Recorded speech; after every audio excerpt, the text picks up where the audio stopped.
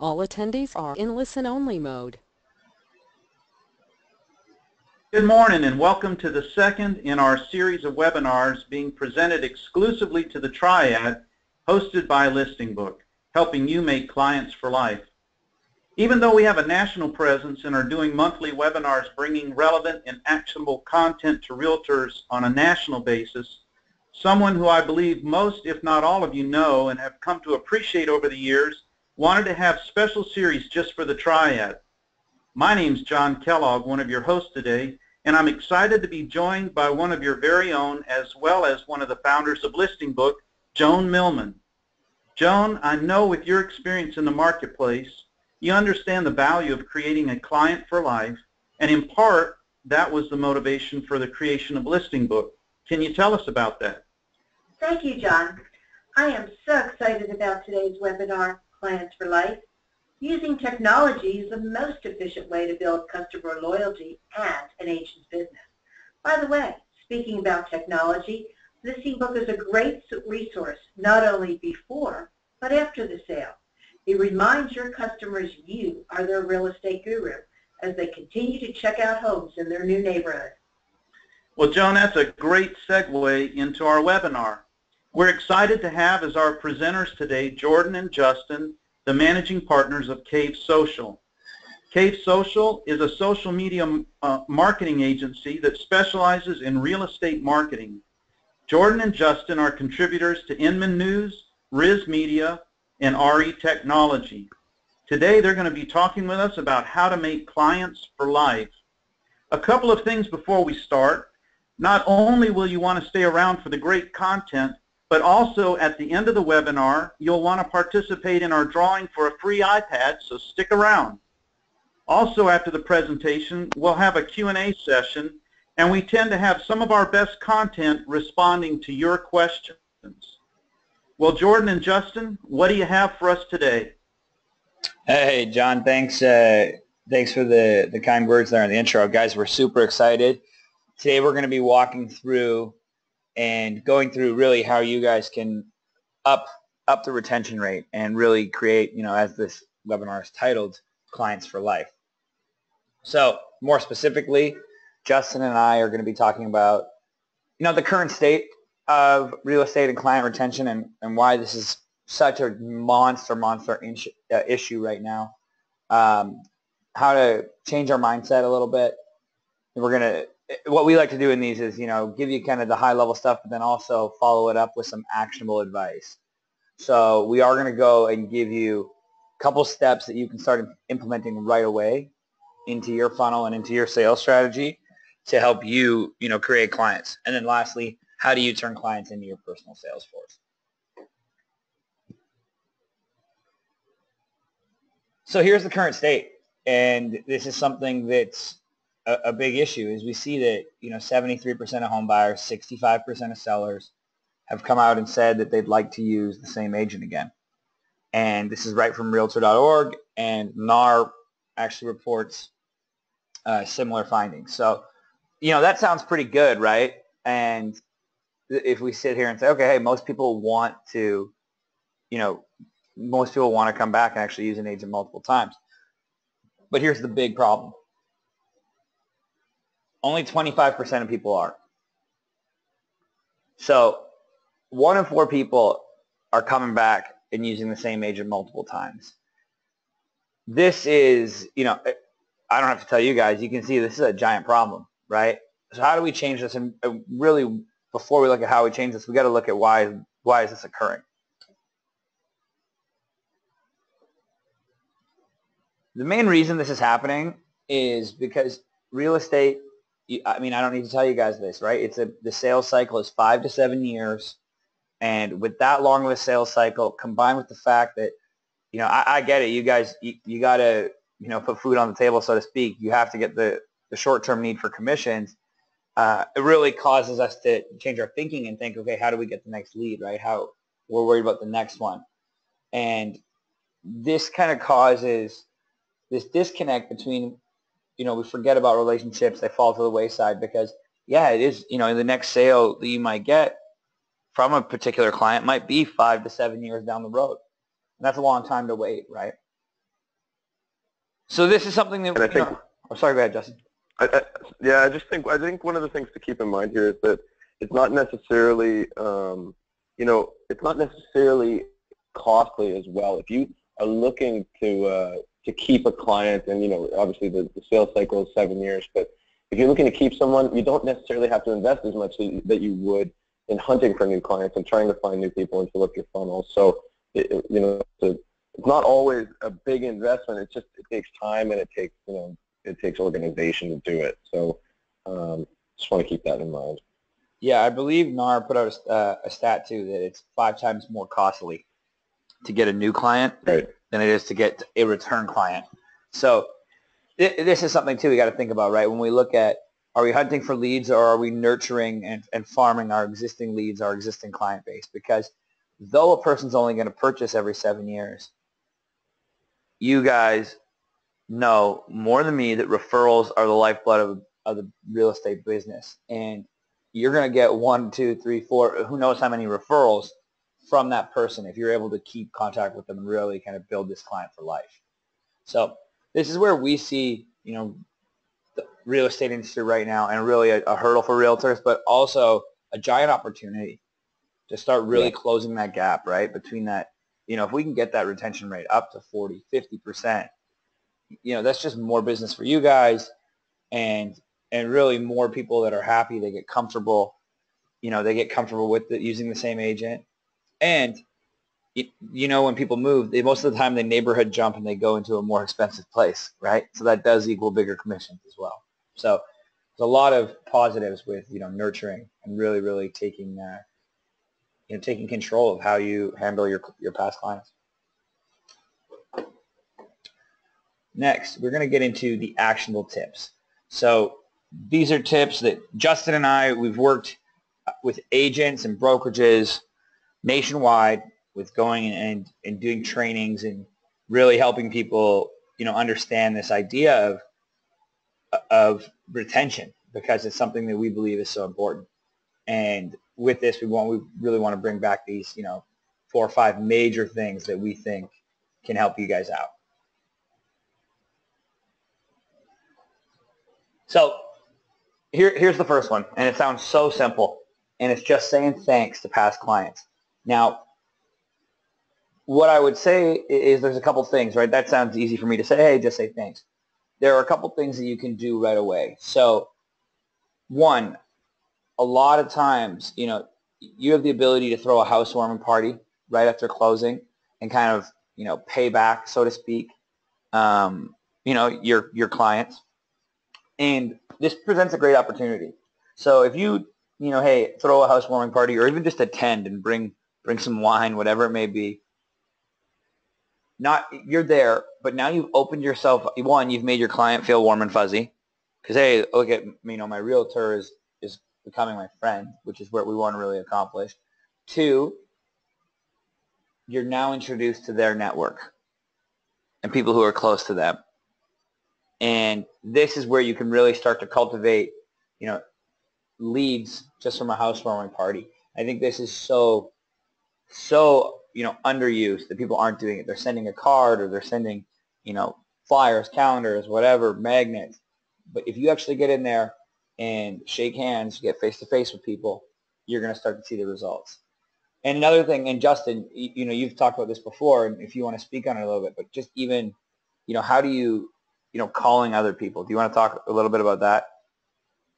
Yeah, for sure. I just think that um, it's super important to keep in mind that you don't always have to be going for the sale. Um, just checking in on people can be super valuable, and, and, and if people do then, like Jordan said, see you as a friend, you're definitely going to stay top of mind. That's the way that you keep a client is, is by becoming their friend as opposed to, you know, this person that, that only sends them push marketing. Um, so I think it's just important to keep in mind that you don't always have to be making sales calls. They can be um, check-in calls. You know? Right. Just a, hey, how you doing? You know, Yeah. what's new? Yep. Let, hey, Yeah. we should grab a coffee. Right? Like those are the types of things where you start to build those relationships past just the point of sale. The next thing you have to do is really use a, a CRM mindset. And take it to okay, you know, building off what Justin said, where you're going to check in with people, but really, you know, there's you know all of these systems and the conventional real estate training says, you know, no marketing is bad marketing. Get in front of your client, send flyers, like you know, make sure to send a calendar or a Christmas card, all this stuff, right? But if we look at what's really happening on the consumer side and what and what the customers and what people are feeling, it's oh another flyer, oh another calendar, right? Oh another fridge magnet. There's no emotion attached when I get a calendar from any business or if I get a flyer from any business. I'm not like, oh that's uh you know I don't feel warm and fuzzy about it. I I probably will just use the calendar on my phone.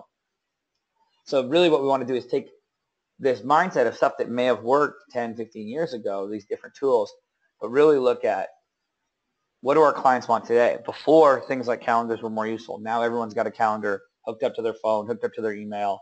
You know, it's everything, everything for the next three weeks of their life is probably plotted in their phone. So what we know today is customers actually want relevant data about their neighborhood. We know when we look at NAR and we look at the reports, people say that they favored having living in like a good neighborhood over the house or the property that they're on. So we see that the consumer's putting a ton of value in their neighborhood and they want to know, you know, they want to know about their neighborhood articles, you have any data, walk scores, the crime rate, all that kind of stuff is very useful to them. Also seeing after the point of sale, hey, if you want to, if, if there's been a big jump in the market, say there's been a 10% jump, right? go and say, hey, just so you know, these houses around you are selling for this much. They sold for that much last year. This is data that your clients want, right? You're able to take that and go through and, and really present them with what the stuff that they're hungry for. And this is something that, uh, I mean, Justin, you want to talk a little bit? I think Listingbook has some of this good functionality Yeah. as well. I, I, I think that um, it's really important to keep in mind that today's generation really wants the tools um, when, when they're searching for homes. They want to be using the same tools that realtors are using or the, or the best search possible, right? I mean, I, I feel like everyone nowadays, you know, you can go look for absolutely anything on the web and you can probably find it. So it's, it's, it's you know, everyone, it's almost expected that you should have the, the best search, um, whether you're just a client or whether you are a realtor. So um, you know, the listingbook platform is definitely something that, that gives your clients um, the ability to search like an agent. And, you know, when they do that, they stay happy. They get all of the updated statistics. They get um, all the local neighborhood information. And you get to see um, what they're searching for and how active they are in listingbooks. So it's kind of a, a win-win, I would say.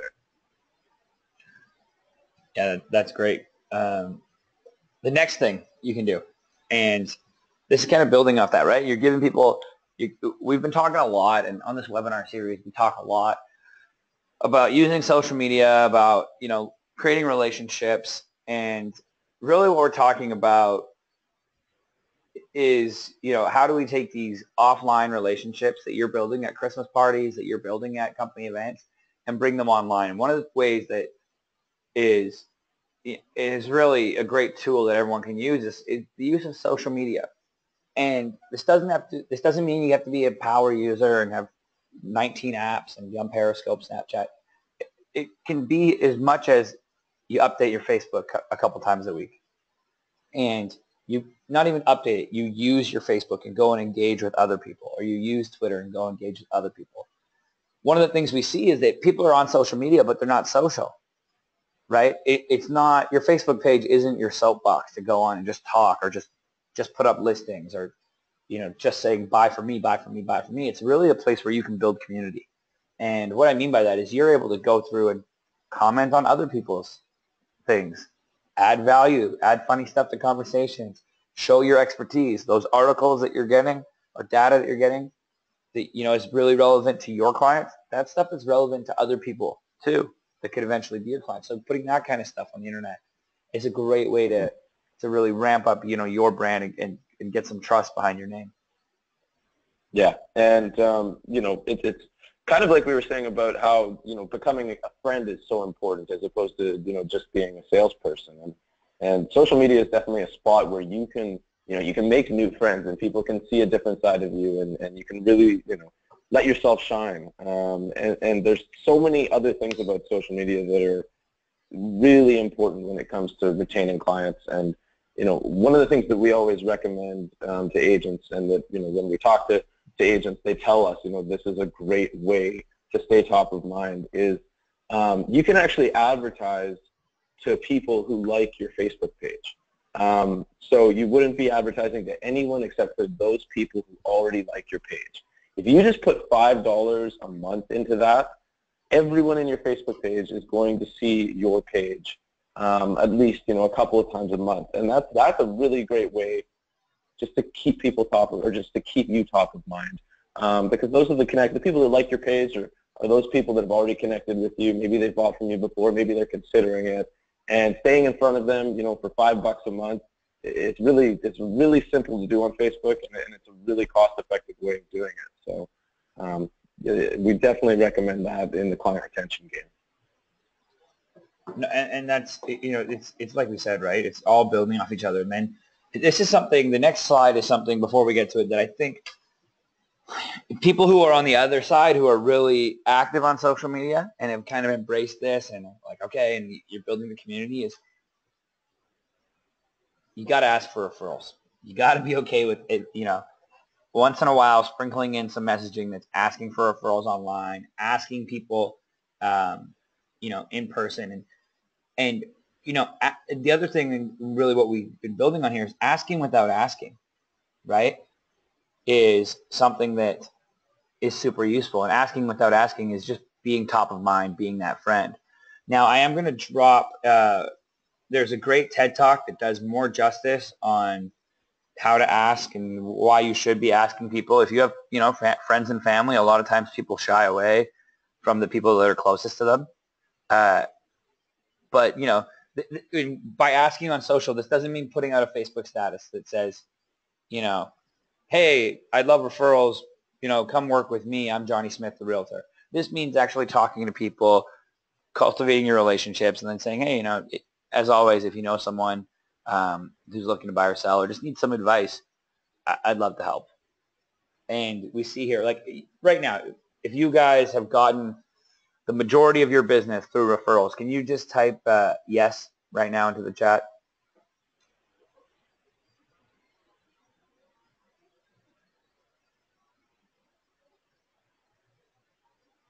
Right. So we see them starting to pile in. Yes, yes, yes, yeah, right? Like this is, we know this to be true, right? So we have to look at, if we know this is true, we get a lot of business through referrals, that means one, we got to do great work. Two, we got to create great relationships. But three, we got to find a way to get those relationships to create more relationships.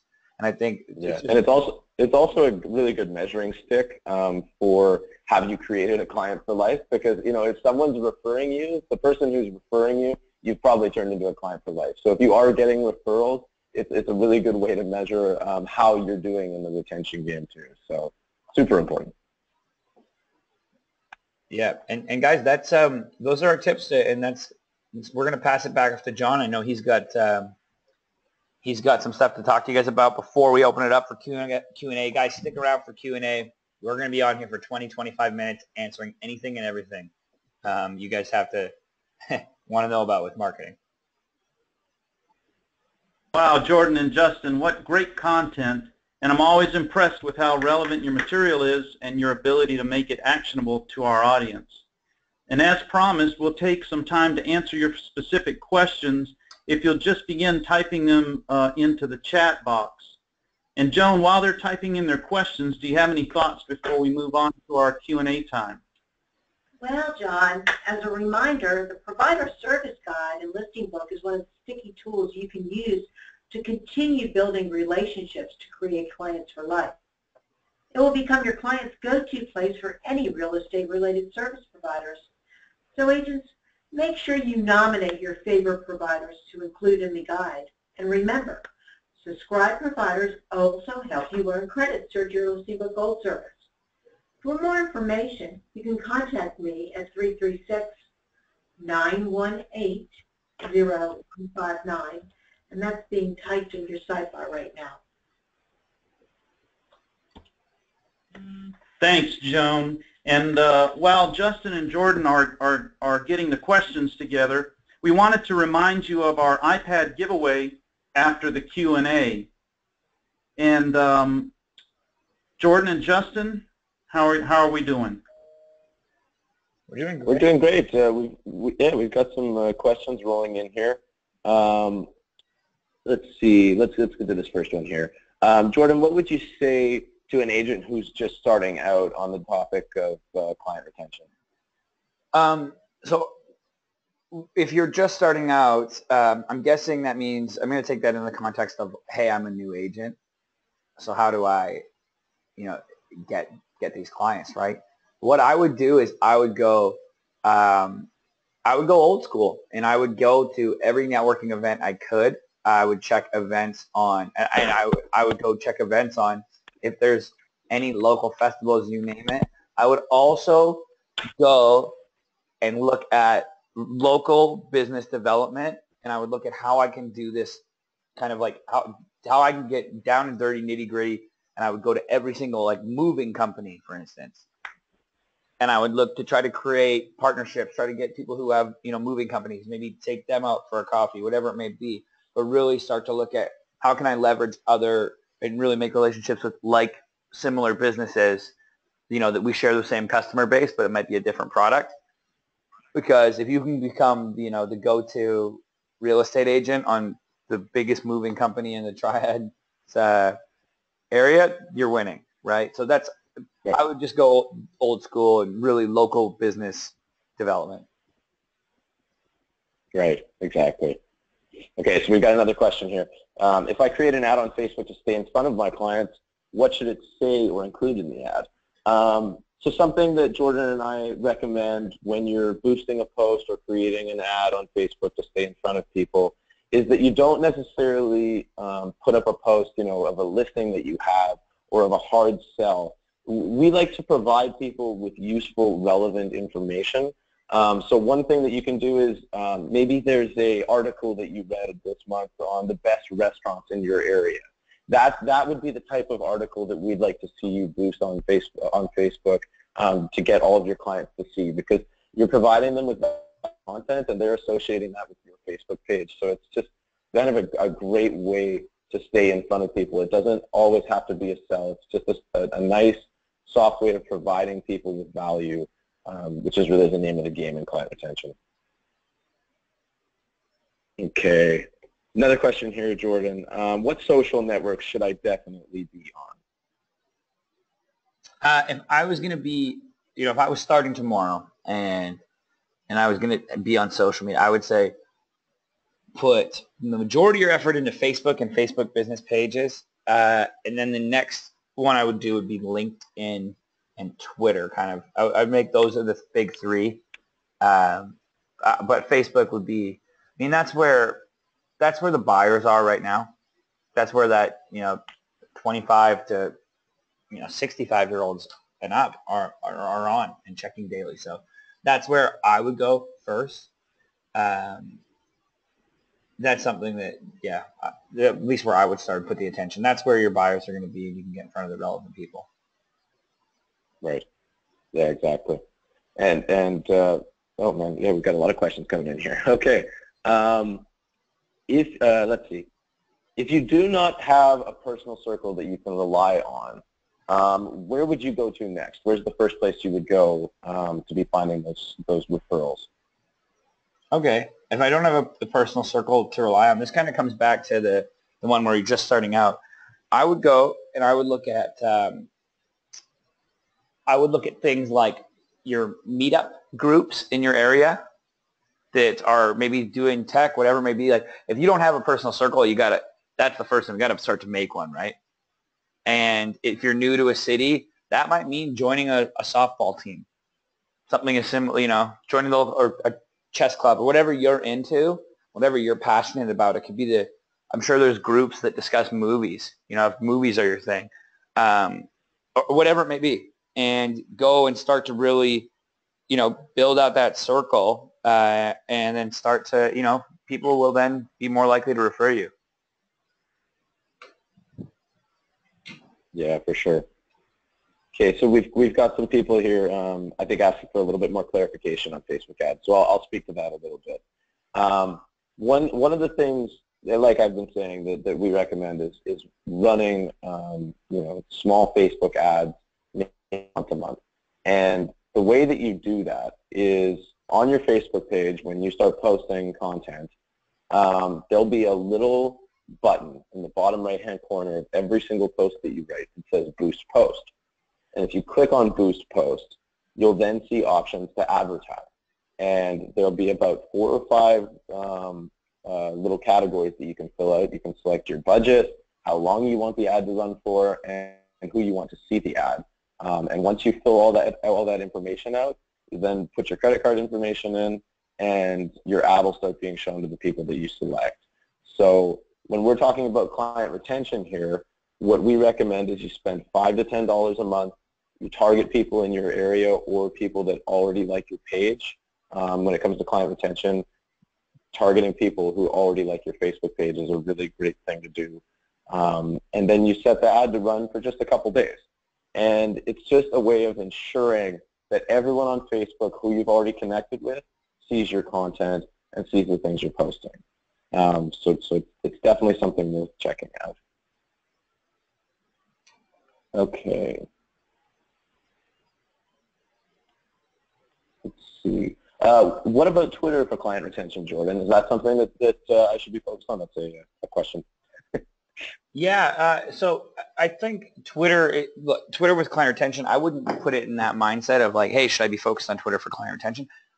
You should just be focused on Twitter and, and, and in talking and engaging with the people that you know and people that are in your area that you might not know. Uh, I think it's just one of those things where in the whole kind of, you know, point of this webinar, you got to stay top of mind without asking, right? Without coming out and just continually saying, buy for me, buy for me, buy for me. So I think Twitter is a great place to connect with people, and when they're when somebody tweets something that you know, um, engage with that person, and you know, give your two cents, retweet, make them feel warm and fuzzy first, and then they'll have the, you know, the mindset, and they'll want to reciprocate that feeling. So. Right. What about um, here? We've got a we got a specific question on a specific demographic. Um, do you have any tips on reaching um, 65 plus year olds who are downsizing or moving to retirement homes. Um, is this general, is this population on social media? Is there another way that, uh, that I should be targeting them? So they're actually the fastest growing demographic on Facebook. So people are finally getting it, figuring it out. Another thing I would do is uh, with that demographic, they're, they're, I would run and I would look at things like Bing ads because most people who are um, of that age, they they they don't care about what browser they use. So Internet Explorer's default browser is Bing, um, or sorry, the search engine is Bing, opposed to majority of people who quickly download, you know, Chrome or Firefox and use Google. Uh, that demographic is pretty alive and well on Bing and then also Yahoo. So you can experiment with some stuff there. But um, yeah, I, I would look at um, Facebook and and um, as a place to start. You have people really, really going there. And the other thing you got to remember too, right, is you're selling to people who are 65 plus. Those people have kids who are 45 who are on Facebook, right? Who who might be driving yeah, some of that decision too, right? Yeah, and it's uh, it's interesting too because I mean if, if that's your demographic, you can select on Facebook to only show ads to people who are 65 plus, live in your area, and are interested in, in retirement homes or are looking to move in the next six months. So um, it's not if you do have really detailed demographics like that, you may be paying a little bit extra per click, but you're going to be hitting your target audience, you know, exactly. So it's it's a good use of dollars for sure. Despite maybe you know it might not be what you think. Uh, it might not be the natural thing that you would think, but uh, like Jordan said, fastest growing demographic on social media is that uh, 55 plus demographic. So um, something to watch for sure. Okay. okay.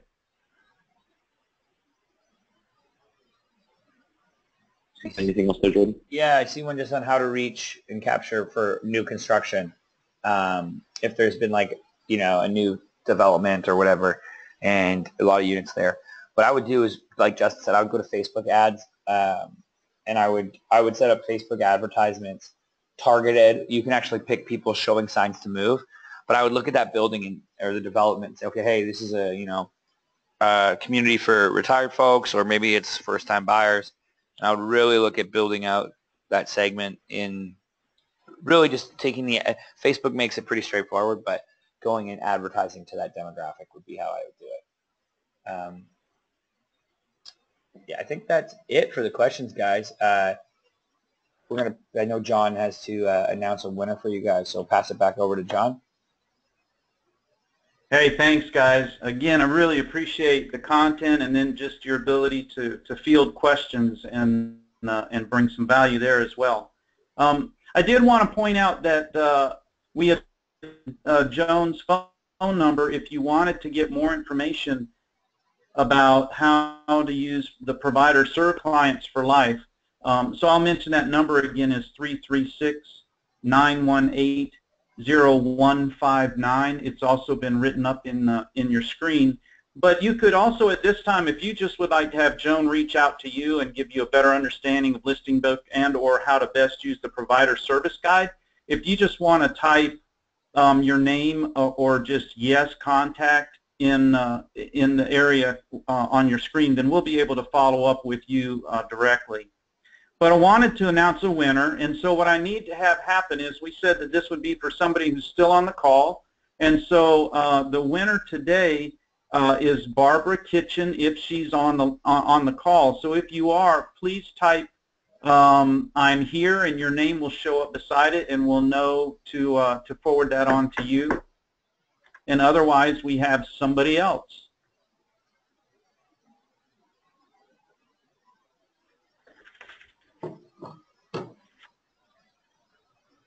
All right, uh, Barbara Kitchen, you need to type in yes, I'm here if you would like to receive the iPad.